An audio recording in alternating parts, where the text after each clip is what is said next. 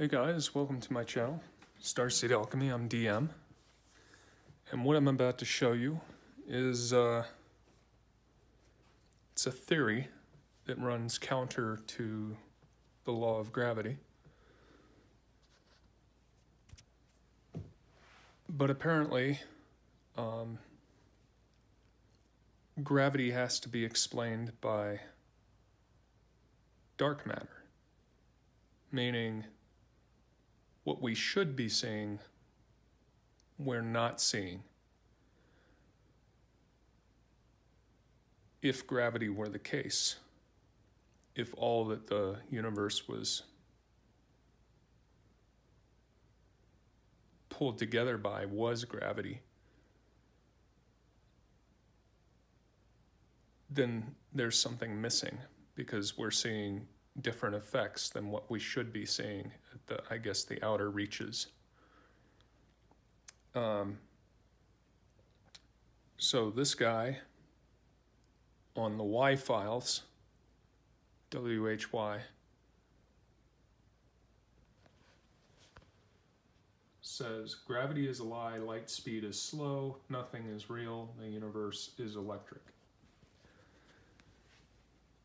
and the idea of the electric universe is that it's just one big circuit, which would kind of make sense if it's both electric and magnetic.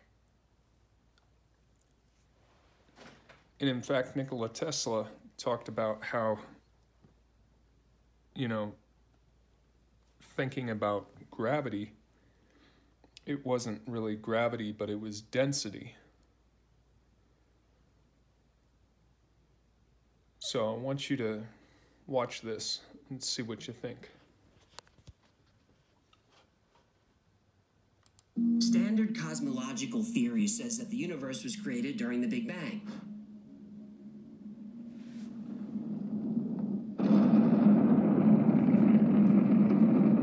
For 400,000 years after the Big Bang, the universe was mostly hydrogen and helium just floating around. Then gravity started to pull matter into bundles that became stars. Gravity pulled stars into galaxies, gravity pulled galaxies into clusters. After that, supernova explode and the universe is sprinkled with elements.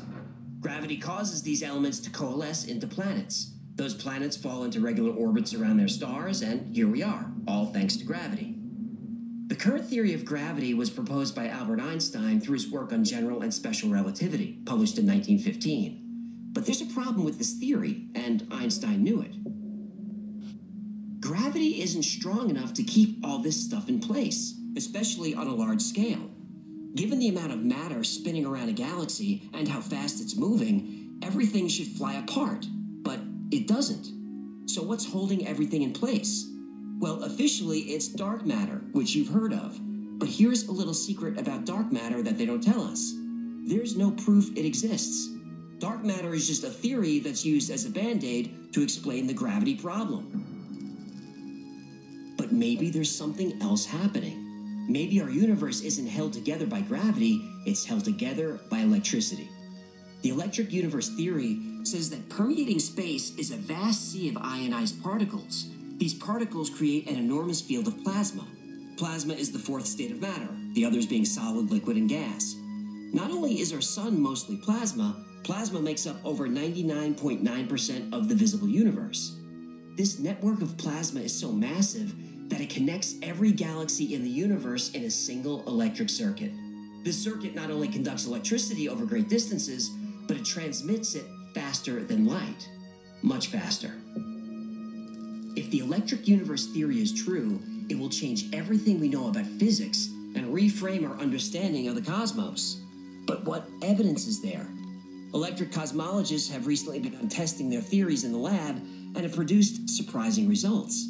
But the real proof may not be found in cosmology, but archaeology. The electric universe theory says that at one time, our night sky was a tapestry of glowing plasma, but then a drastic cosmic event changed our sky forever. Our ancestors recorded this event in customs and in myths and symbology. But changes to the sky weren't the only thing they described.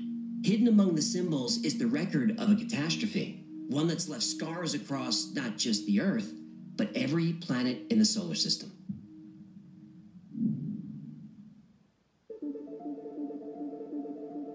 The Grand Canyon is one of the most iconic places in the world. The Colorado River flows between the canyon walls. All right, guys. so you can check that out on YouTube. It's the Why Files. Gravity is a lie, light speed is slow, nothing is real, the universe is electric. I've spent some time doing my own research on various alternative theories. And when you look into mathematics and you look into science and you look into physics, you start finding holes. There was an astrophysicist who wrote a trilogy. And one of the books is like 700 pages long. But basically, because of the holes that he was seeing in mathematics and physics, he started looking into metaphysics. And they and metaphysics started repairing some of those holes or filling in the gaps. And I will show you. So let's go to a new tab here. Let's go to Amazon.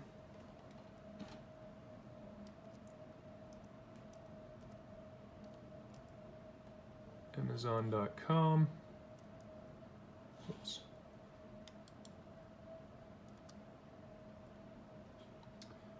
We're going to search with the filter books. We're going to type in Claude Swanson. Now, what's interesting is that on the television show Smallville, where Tom Welling plays Superman before he's fully Superman, Christopher Reeves plays Dr. Claude Swanson. Or Dr. Swanson. I don't know if a Claude is in there. But I found that interesting. Um, Superman, if you don't know, was written by two Jewish, I believe, two Jewish brothers. And Superman's name is Kal-El. And when you look into metaphysics, you look into um, the tree of life, you look into the Kabbalah or Kabbalah, you start coming across different gods and goddesses. Um, one of them was Yahweh, and another one was Baal, B A apostrophe A L. Um, and there were suffixes that were added on to a lot of the names of L, E L. So it's just kind of interesting. And then if you watch the different shows, you really get the sense of kind of this metaphysical knowledge. And it was, it's presented in the show as, you know, advanced science of another planetary system, right? But I just found that interesting. So, anyways, Claude Swanson. So we'll type in Claude Swanson. And this is one of his books, Science of the Soul, the Afterlife, and the Shift. The Synchronized Universe, New Science of the Paranormal. And this one right here, Life Force, The Scientific Basis, Volume 2 of the Synchronized Universe. So this would probably be probably be the third volume is my guess. But if you look, he is a PhD. Claude Swanson. Oh yeah, volume three of the synchronized. Volume three, of the synchronized universe.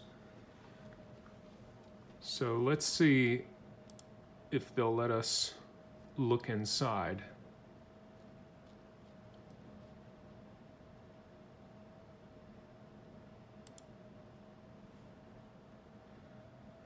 So they aren't letting us look inside, but let's... So, a physicist looks at subtle energy, the life force.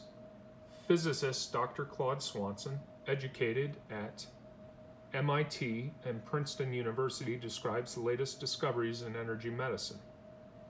This is the secret of life, how the body's trillions of cells grow, repair, and heal the scientific explanation for the aura and chakras, how energy healers direct their powers across thousands of miles to be measured in distant laboratories.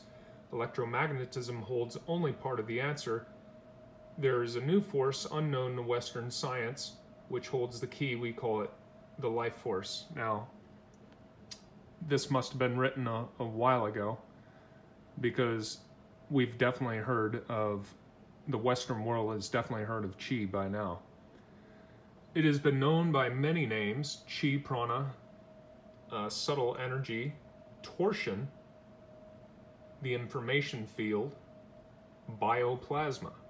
It couples to consciousness, is essential to all of life, and can alter space and time as well as physical processes.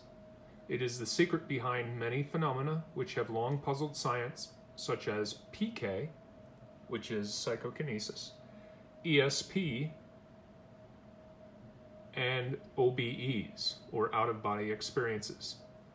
It is a breakthrough in the science of life in the integration of consciousness with physics. It is the science behind the word energy in energy medicine. Laboratory proof, labor, laboratory, lab, laboratory. Laboratory proof. The physical basis for long distance healing, Qigong, Reiki, and pranic healing. Breakthrough Russian physics of the torsion field. The physics behind acupuncture, why it works, how it heals. Scientific explanation of the aura. Earth energies and sacred sites. New devices and technologies. The science behind the, behind the power of intention connection to higher dimensions, physics of quantum consciousness. So if you guys who are probably on my channel for a number of reasons, but one of the reasons being that you like to watch the, um, you like to, let me see, yeah. You like to watch the telekinesis demonstrations and maybe you take time to listen to some of my explanations. A really good book to get would be this book, right? Life Force, The Scientific Basis, Volume 2 of the Synchronized Universe. Look at how much it is. That's how valuable it is right now. That's how valuable the market on Amazon thinks it is. and that's used. That's not even new. Um, 8 used from 1023. So if we click on that, let's see what it says. Okay, this one's 101.23. This one's 105. This one's 148. This one's 179. This one's 189. This this one's 196. All right. So when I tell you that it's a very valuable manuscript, um, it is, and I've read only parts of it. But just reading a tiny part of it, it explained way more than most books I've come across, except for, you know, one very jam packed book would be. Well, I don't have it here. Have it in my other bookshelf. Is um, The Ancient Secrets of the Flower of Life by Drunvalo Melchizedek, which talk about a lot of it talks about the Merkabah and, you know, sacred geometry and all that kind of stuff. And it talks about consciousness and it talks about ancient civilizations. It talks about morphic fields. It talks about a lot of different things. And, and that guy has three volumes as well. All right, guys. See you next time.